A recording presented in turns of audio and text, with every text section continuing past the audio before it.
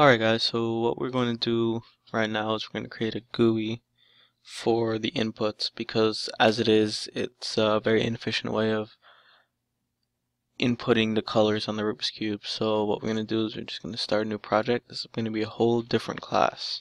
So we're going to be cube GUI input. Alright, and what we're going to be doing is we'll obviously have to bring over a bunch of imports so I'm just going to copy it over from the file that I already have and get started. So basically we're going to create a bunch of fields. Now if you don't know what fields are it's basically variables that are initialized outside of the any method. Is just available to the whole class and can be changed by the whole class. So I'm just going to pull in all the fields that I have and I'll explain to you what each of them do. Now, if I run the program that I have, it'll show you exactly what it, I'll show you exactly what it does. It basically brings up this window and you can change the colors. Each time you click on it, it changes the colors. And you can click next to change the sides. You see sides white, blue, yellow, orange, red, and so on. And when you're done, you click done and at that point we'll start solving the Rubik's Cube. So in this video we're going to make this GUI but now we're not going to integrate it into our program yet. So this video is just the GUI video.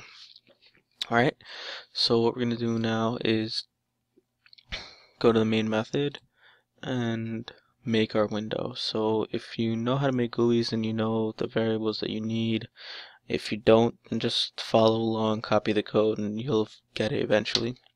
So I'm going to copy each of these and well I'm going to copy the whole thing from the finished program and I'll explain it. Oh basically these these fields are basically all buttons, the next button, the done button, uh, frames, labels. This is a label for what side it is, so the side is white, the side is green. This is the integer array for the cube colors. Uh, this is a integer for the side, so 0 is green, and then blue was orange is 5. Yep. Alright, so in making the window, you can have the width and the height. Width is 350, the height is 208. The title of the window is uh, first window, but we'll change that to cube GUI. Cube input GUI. Alright, set size of the window is the variables width and then height which are up here. Default close operation what happens when you click the X button? It exits set window visibility to true then set resizable to false. Alright so that's in an editor fold. Of course you guys already know that I love these editor folds because you can just put it into there and then we're going to add a we're going to call a method called add stuff. And basically this is going to add everything to our our um, our window. So we already created it and now we're going to add everything. So first thing we have to do is we have to set the layout of the window to null. The reason why we're going to do that is because we're going to put the buttons in the place that we want to put it. We don't want the computer to do it for us because if we want to get this perfect sort of array of squares then we're going to have to do it ourselves. The computer won't do it for us. And even if it does it'll get mixed up between which button is which. For instance I just clicked all of them in a snake pattern and you know exactly which one you clicked. However if you let the computer do that it's not going to do it right.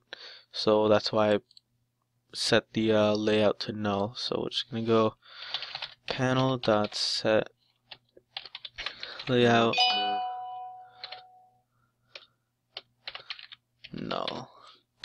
Alright, now as you can see, um, the panel is right here.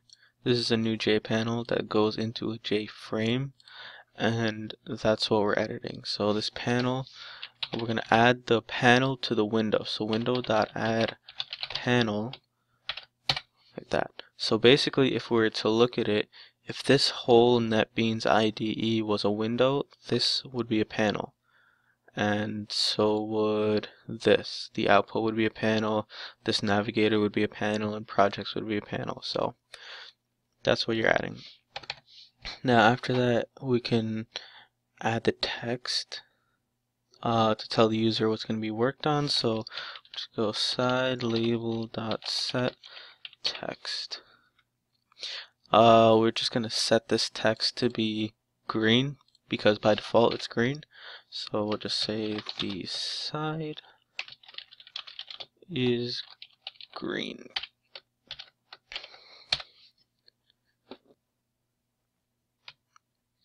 Alright, and we're going to set the location of it. So basically what the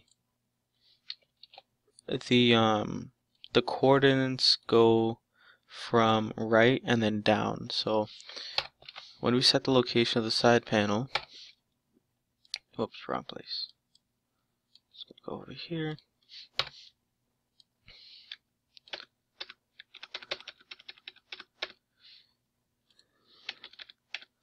Okay, so this is a label, and this is setting the location of it, setting the text, and this is adding it to the panel.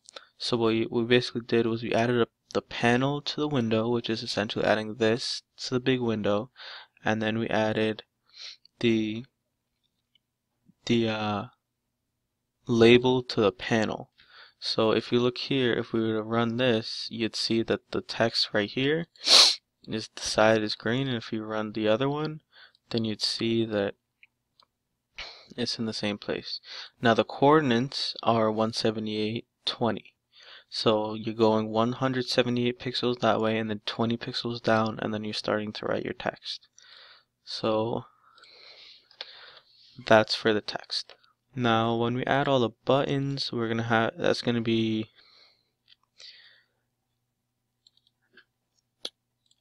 a headache if you don't know what you're doing. What I did was I drew this out on a piece of paper and I just kind of measured it with a ruler, one centimeters, 10 pixels, whatever you need to uh, make it work. And this is what I got.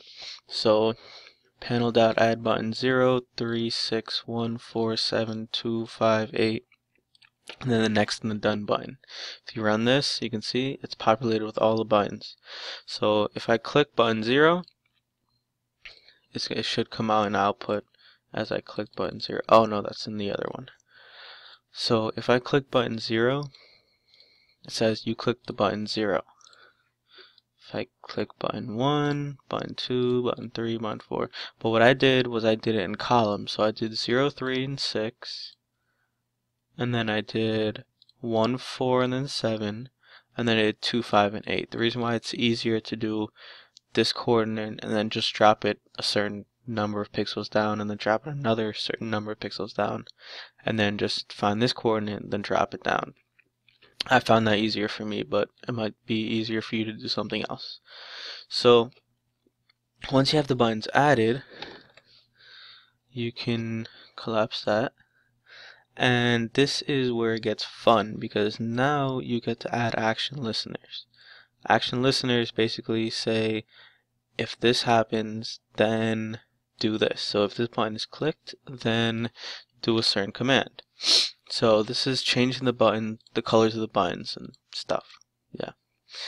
Um, so if you go here, button zero dot add action listener and new action listener, and then in parentheses what happens. So public void action performed, action event E, and then you get system.out.println, and you click button 0, and then if side is 0 equals 5, then change the color and then change the side.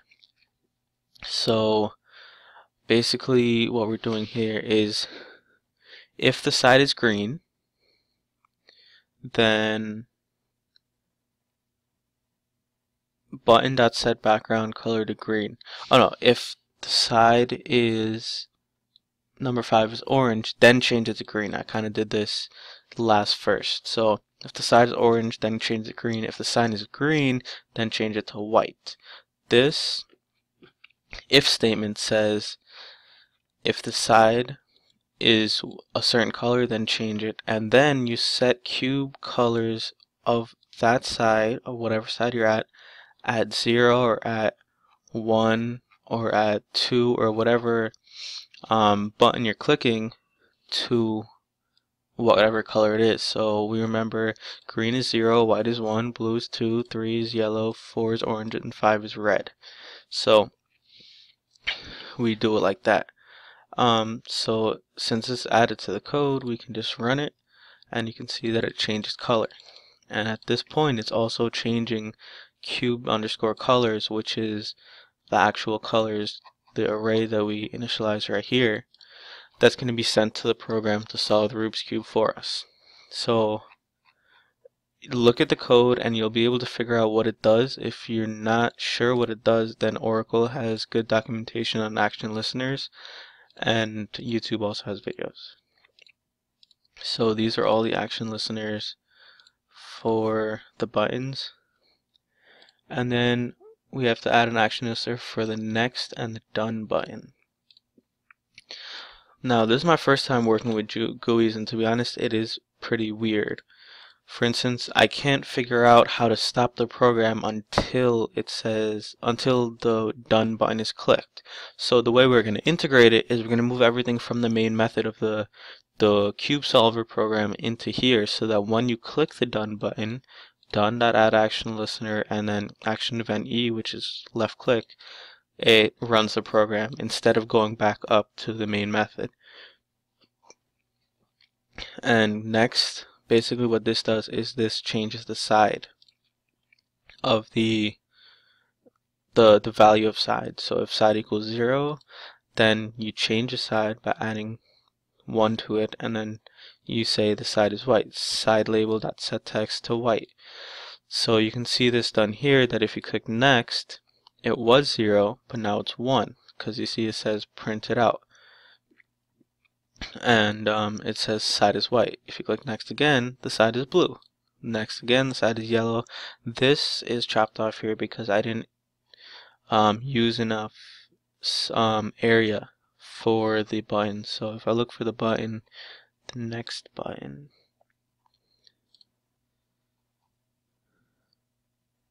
if I look for the next button, set bounds, this isn't enough, so I have to lengthen the 100. And I believe if I lengthen the 100, it'll work.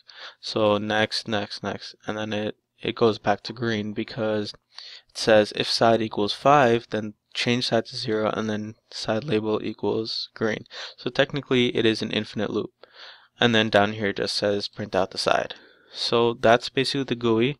Again, the integration is going to come from when you click the done button. So everything from the main method of the cube solver program is going to be in here and you guys should be able to understand this. If not, again, Oracle documentation on YouTube and YouTube is what I use to make these programs, so you should be able to use that easily. And if you don't understand what fields are, then you need to understand that in order to be able to use this. Alright, I'll see you guys in the next video, which is going to be solving the entire white side. Should be out in a month. Thank you. Bye.